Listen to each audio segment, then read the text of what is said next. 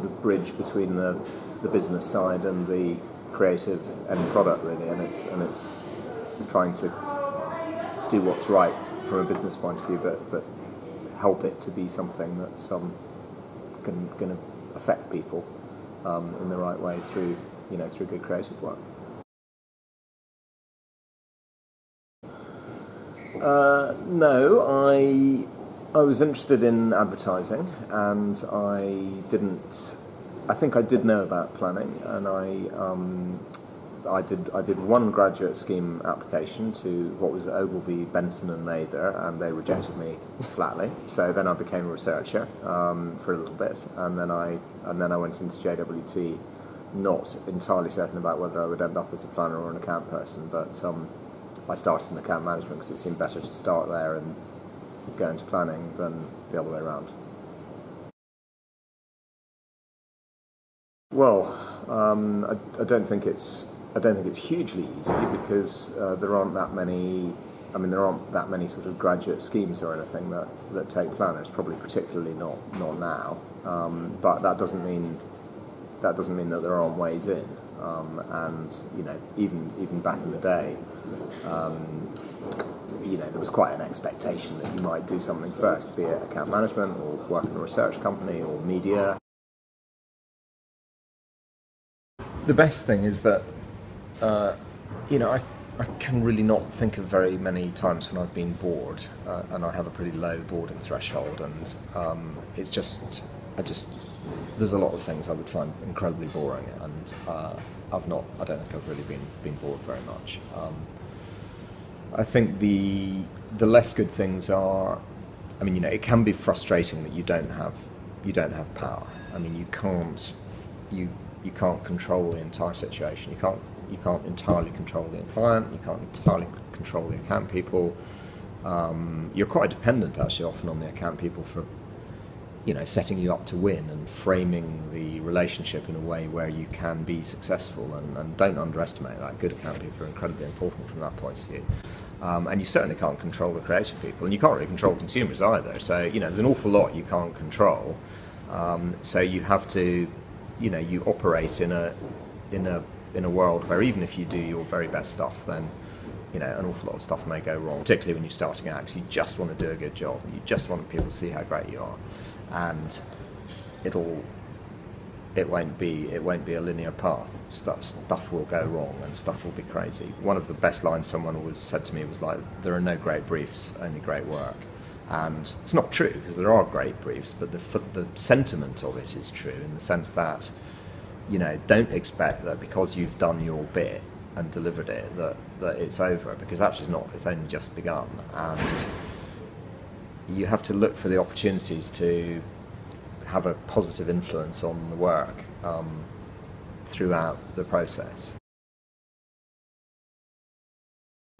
Well, I think if you can get into a, a good grad scheme, um, it's it's probably still really really good. Um, and I mean, funnily enough, you know, yesterday I was interviewing for the, the WPP fellowship, which is the scheme whereby people come into WPP and they spend a year in three different companies. And I mean, if that had been open to me, I would have, I would have loved that because, to be quite honest, when I left university and you know, even for years afterwards, I mean, I didn't really know quite what I was going to do. So the idea of sort of doing a bit of a few different things and then making your decision it seemed really attractive, or seems really attractive. Um, research agencies have often been a, you know, traditionally a, a very good route, and even though the you know the work of the planner it's you know it's probably not so not so directly kind of consumer insight as, as perhaps it was, but it's still it's still like really absolute kind of bedrock. A lot of it is being able to demonstrate an interest in it. So you have got things like the APG where hopefully you can you know you can sort of network and you can make yourself acquainted with what's happening in the industry. Somebody comes and says you're interested in planning, you expect them to have, to know something about it and to have taken an interest in the discipline and in advertising. I'm interested in people's side projects or just stuff they do outside work.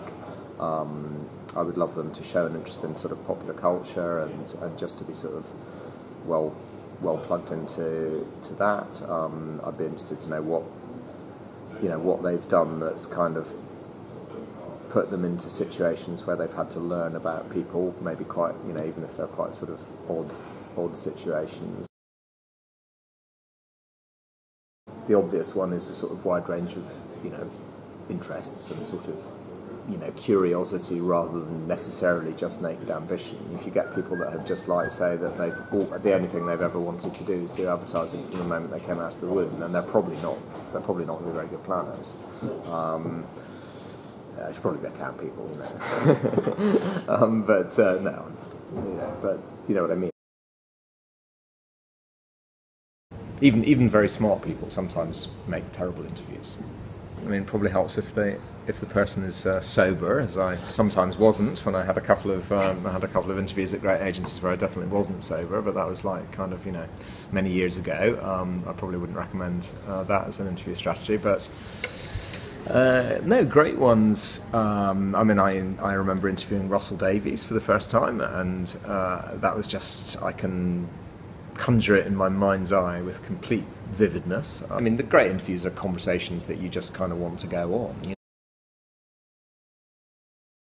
If you can get on a pitch or something, then everybody everybody's under such pressure that they will really notice when somebody is just being kind of really useful. And sometimes on a pitch, you know, it's like time time is so pressed that if a very junior person has has a great idea or makes a contribution, then if it's useful in the pitch, then it's going to get used, and people forget about the, the hierarchies a bit. Um, so that's probably a, kind of a good a good piece of advice.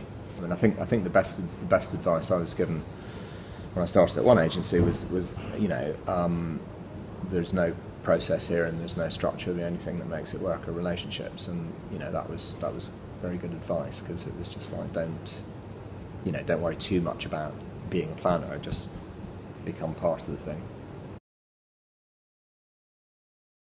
I was probably in a little bit too much of a hurry, I think, um, and I think I could probably have, I could probably have. I mean, I was at, no, I mean, I was in the planning department of JWT, which, in its, you know, in the sort of you know mid 80s, which was pretty much. I mean, all the. I mean, Stephen King was there, Judie Lannon was there, Tony Stead was running the department. Um, there were incredible, incredible people in there, and uh, yeah, I mean, I could probably have listened a bit more and been been in a bit less of a, in a little bit less of a hurry.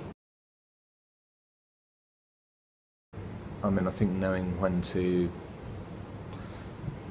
knowing when to, to be assertive and sort of push yourself into a situation and but without going too far is really helpful. And there have certainly been you know when I started out I was I was like way too I was kind of way too ambitious and cocky and I was kind of horrible really probably uh, looking back on it and did one or two things. But you know later on there were a couple of occasions where um, I was in a situation where I thought I mean there was one particular one where like yeah massive great I was fairly new on an account hadn't kind of completely got our head around it. Um, there was a big client presentation, and you know the guy who had been doing it, doing the planning on it before, was sort of being penciled in to do it, even though really I should have been doing it. And I could have, at that point, I could have said, well, um, okay, that's fine, let him let him do it. Uh, and that would have been the easy thing to do. I actually thought, well, you know what, if I don't do this, then I'm kind of not really doing what I'm there to do. So I said, look, I want, I want to do it. Uh, and the folks said, that's fine, you know, do it, do it good, don't fuck up. and uh, and I did it I had to work really hard to do it and it was very successful and it actually sort of transformed, you know, the situation I was in on that account and then it became, you know, it was pretty plain sailing from then on and, and so I had to but that was very much sort of self-directed, and it would have been very easy not to do that. But on the other hand, you know, you don't want to be kind of the guy who's always pushing themselves forward when when they shouldn't be, and you know, you have to sort of respect. So it's just getting that right is quite important. I mean, it's just being prepared to go out and talk to real people and obviously nowadays it's quite easy to learn a lot about real people online, but there's still no substitute for actually getting out and sticking your, you know, sticking your camera in someone's face and asking them some questions and just getting to getting to know them. And I mean that makes a huge it makes a huge difference, and it gives you even if that's not the only source, it gives you an awful lot of authority if you've been out there and just talked to talk to people. You can just say, oh, well, when I did it, and so that doesn't have to be necessarily in a formal research environment. Sometimes it's just much more kind of ad hoc, but it's pretty important and pretty scary sometimes.